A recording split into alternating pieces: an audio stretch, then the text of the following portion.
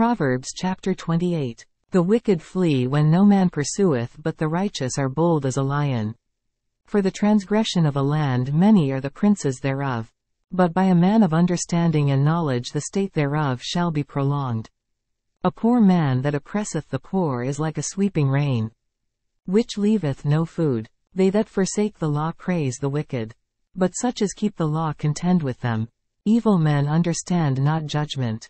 But they that seek the Lord understand all things.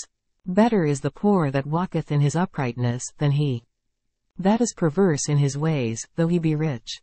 Whoso keepeth the law is a wise son. But he that is a companion of riotous men shammeth his father. He that by usury and unjust gain increaseth his substance. He shall gather it for him that will pity the poor. He that turneth away his ear from hearing the law. Even his prayer shall be abomination. Whoso causeth the righteous to go astray in an evil way, he shall fall himself into his own pit but the upright shall have good things in possession. The rich man is wise in his own conceit. But the poor that hath understanding searcheth him out. When righteous men do rejoice, there is great glory. But when the wicked rise, a man is hidden. He that covereth his sins shall not prosper. But whoso confesseth and forsaketh them shall have mercy. Happy is the man that feareth alway. But he that hardeneth his heart shall fall into mischief. As a roaring lion, and a raging bear. So is a wicked ruler over the poor people. The prince that wanteth understanding is also a great oppressor. But he that hateth covetousness shall prolong his days. A man that doth violence to the blood of any person shall flee to the pit. Let no man stay him. Whoso walketh uprightly shall be saved. But he that is perverse in his ways shall fall at once. He that tilleth his land shall have plenty of bread. But he that followeth after vain persons shall have poverty enough.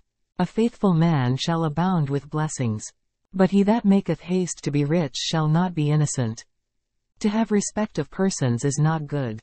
For for a piece of bread that man will transgress. He that hasteth to be rich hath an evil eye, and considereth not that poverty shall come upon him. He that rebuketh a man afterwards shall find more favor than he that flattereth with the tongue.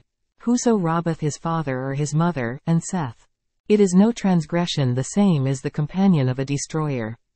He that is of a proud heart stirreth up strife. But he that putteth his trust in the Lord shall be made fat. He that trusteth in his own heart is a fool. But whoso walketh wisely, he shall be delivered. He that giveth unto the poor shall not lack. But he that hideth his eyes shall have many a curse. When the wicked rise, men hide themselves. But when they perish, the righteous increase.